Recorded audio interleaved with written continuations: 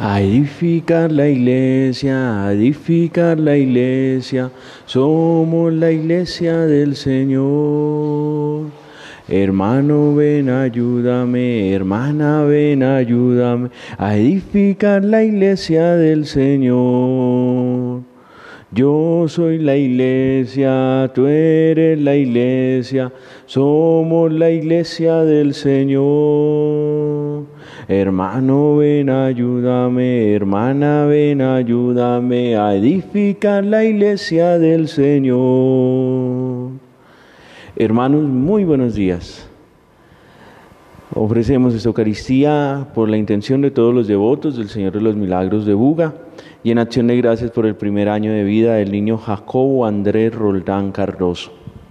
En el nombre del Padre, del Hijo y del Espíritu Santo. Amén. La gracia y la paz de parte de Dios nuestro Padre y de Jesucristo el Señor esté con ustedes. Con humildad pedimos perdón a Dios de nuestros pecados. Señor, ten piedad.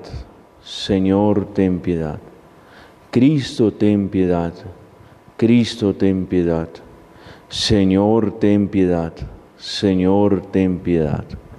Dios Todopoderoso, tenga misericordia de nosotros, perdone nuestros pecados y nos lleve a la vida eterna. Amén. Hoy la Iglesia nos invita a recordar la memoria de San Antonio de Padua, presbítero y doctor de la Iglesia.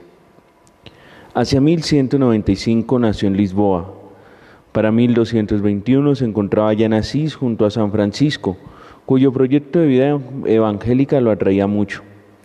Por sus dotes extraordinarias de predicador, fue enviado a Francia, en donde se difundían doctrinas heréticas. Fundó un convento en Francia y cuando volvía a Italia murió en Padua después de predicar ahí mismo los sermones de Cuaresma en 1231. Oremos. Padre misericordioso, que en San Antonio de Padua diste a tu pueblo un predicador insigne y un intercesor en sus necesidades, concédenos que con su ayuda y siguiendo sus ejemplos de vida cristiana, experimentemos tu auxilio en toda adversidad.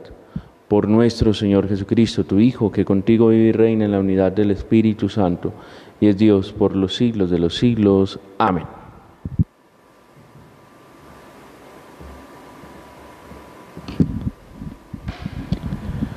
Lectura del primer libro de los Reyes. En aquellos días partió Elías del monte y encontró a Eliseo, hijo de Safat, quien se hallaba arando. Frente a él tenía doce yuntas. Él estaba con la duodécima.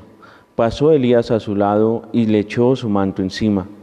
Entonces Eliseo abandonó los bueyes y echó a correr tras Elías diciendo, Déjame ir a despedir a mi padre y a mi madre y te seguiré.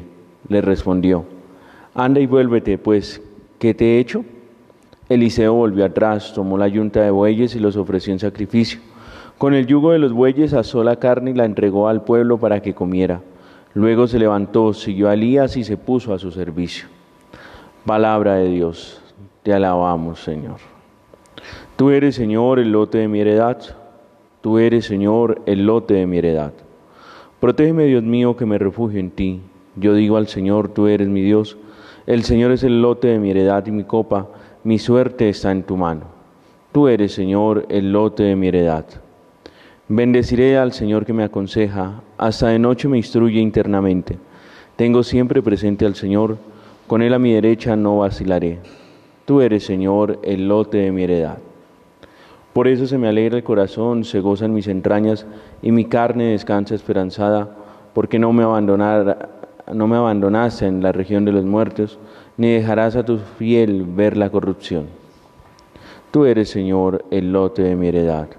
Busca primero el reino de Dios y toda su justicia, y todo lo demás se os dará por añadidura. El Señor esté con ustedes. Lectura del Santo Evangelio según San Mateo. Gloria a ti, Señor. En aquel tiempo dijo Jesús a sus discípulos, Han oído que se dijo a los antiguos, no jurarás en falso y cumplirás tus juramentos al Señor. Pero yo les digo que no juren en absoluto, ni por el cielo, que es el trono de Dios, ni por la tierra, que es el estrado de sus pies, ni por Jerusalén, que es la ciudad del gran rey, ni jures por tu cabeza, pues no sabes volver blanco o negro un solo cabello. Que su hablar sea sí, sí, no, no. Lo que pasa de ahí viene del maligno. Palabra del Señor. Gloria a ti, Señor Jesús. Queridos hermanos, en la experiencia espiritual que tiene el pueblo de Israel, surgen la figura de los profetas como una manera de recordar la alianza que Dios ha hecho con su pueblo y de así renovar el pacto, la fidelidad y la entrega de Dios al hombre, pero también del hombre a Dios. Por eso los profetas siempre estarán en esa línea de denuncia de las situaciones que oprimen al ser humano, de las situaciones que alejan eh, eh, al hombre de Dios y por otra parte eh, también anunciarán un proyecto nuevo en esperanza, un proyecto nuevo de fe, un proyecto nuevo de comunidad. Y es ahí donde surge la vocación del profeta Eliseo. Elías pasa, siente de Dios como esa necesidad de elegir a un sucesor, escoge a Eliseo y Eliseo por su parte se dispone, dejándolo todo, pidiendo incluso volver a despedirse, pero no fue tanto la actitud de despedirse de su familia, sino la actitud de hacer un sacrificio al Señor y de ofrecer vida y alimento a su pueblo. Y así es como surge la vocación de Eliseo. Ahí está los primeros signos de la profecía que él va a implementar en el pueblo de Israel. Cómo su misión va a ser el hecho de sacrificarse por Dios, ofrecerse por su pueblo y ser vida y alimento para todos los que le rodean. Esa va a ser la función del profeta Eliseo.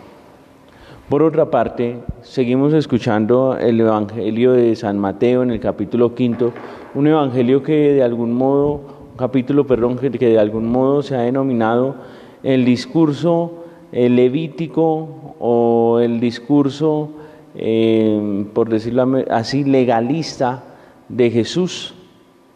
Y entonces encontramos en todo el capítulo quinto de Mateo un proyecto de misión de Jesús que se parece mucho al proyecto de misión que tuvo Moisés. Y entonces él inicia a comparar esos dos estados, la ley que se había dado en tiempos antiguos y la novedad que trae su persona. Y hoy precisamente entonces dice, una de las leyes es, no jurarás en falso y cumplirás al Señor tus votos. Pero, pero, como Él es la plenitud de toda la palabra salida de la boca de Dios, Él dice, no juren en absoluto por nada ni por nadie. Si es sí, digan sí. Si es no, digan no. ¿Cuánto nos cuesta a nosotros? ¿Cuántos juramentos en falso hemos hecho? ¿Cuántas cuestiones como que no nos atrevemos por nuestra cobardía y entonces somos tibios en nuestra manera de ser, en nuestra manera de actuar? ¿Cuántas veces le hemos dicho sí al Señor, pero tal vez con los dedos cruzados por detrás le decimos no? ¿Cuántas veces hemos prometido muchas cosas a nuestra pareja, a nuestros hijos, en nuestro trabajo, en nuestro compromiso cotidiano y tampoco hemos sido los más responsables?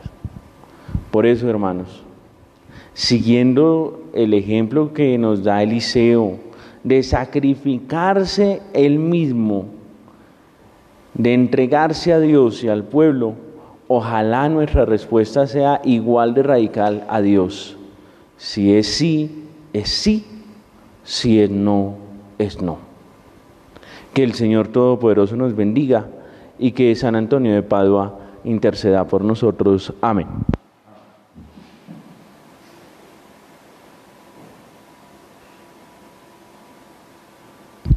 En ese pan y vino, Señor, se transformarán en tu cuerpo y sangre, Señor, en nuestro manjar.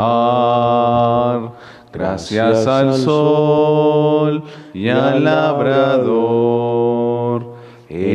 el altar florecen hoy las espigas, los racimos que presentamos a Dios.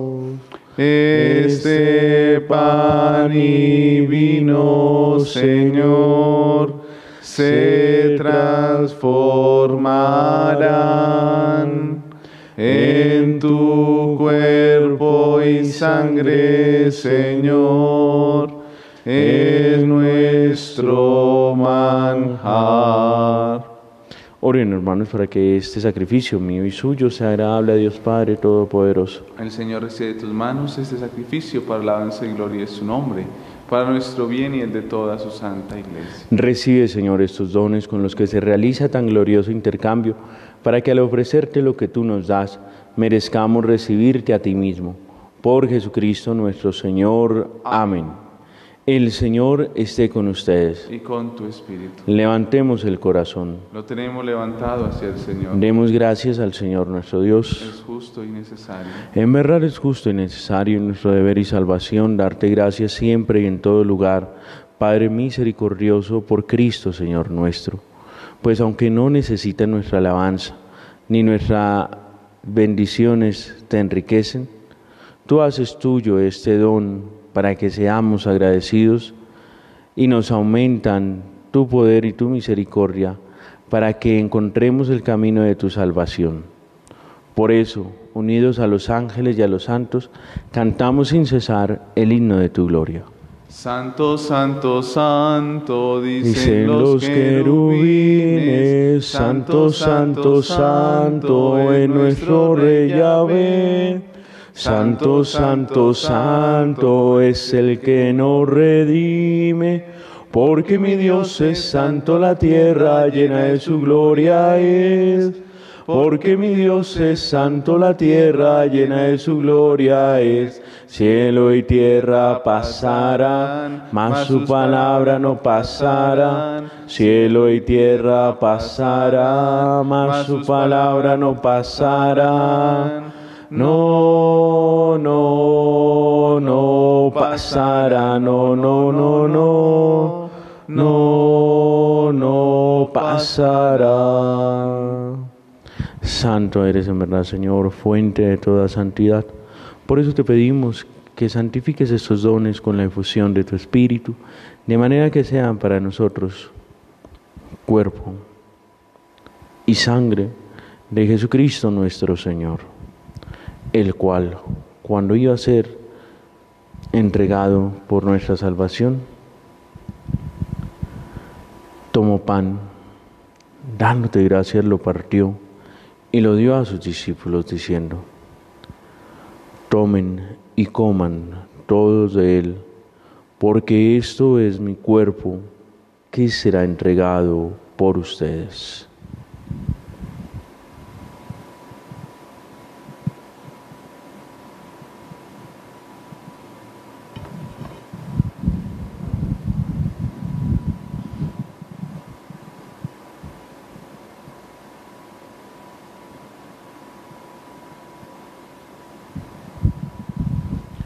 Del mismo acabada la cena, tomó el cáliz y dándote gracias de nuevo, lo pasó a sus discípulos diciendo, tomen y beban todos de él, porque este es el cáliz de mi sangre, sangre de la alianza nueva y eterna, que será derramada por ustedes y por muchos para el perdón de los pecados.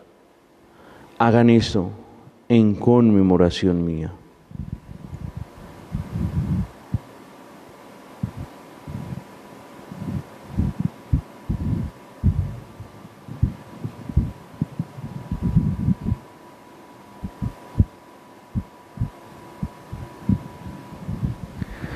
Este es el sacramento de nuestra fe. Anunciamos su muerte, proclamamos su resurrección. Ven, Señor Jesús. Así pues, Padre, al celebrar ahora el memorial de la muerte y resurrección de tu Hijo, te ofrecemos el pan de vida y el cáliz de salvación y te damos gracias porque nos haces dignos de servirte en tu presencia.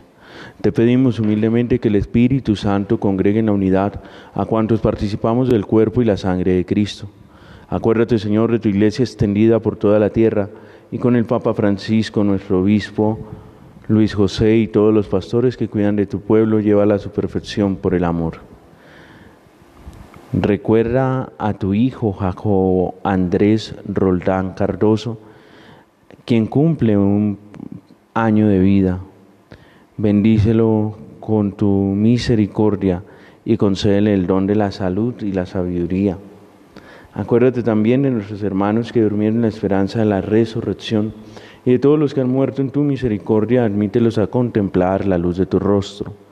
Ten misericordia de todos nosotros, y así con María, la Virgen Madre de Dios, San José su esposo, los apóstoles y cuantos vivieron en tu amistad a través de los tiempos, merezcamos por tu Hijo Jesucristo compartir la vida eterna y cantar tus alabanzas.